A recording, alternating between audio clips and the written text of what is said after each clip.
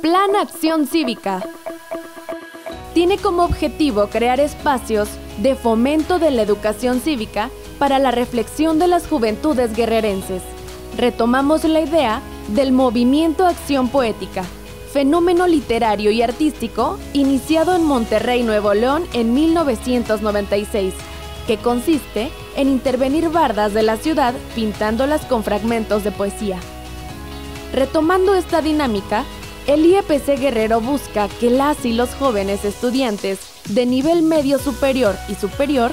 reflexionen sobre la importancia de temas como la igualdad, no discriminación y la violencia política contra las mujeres en razón de género,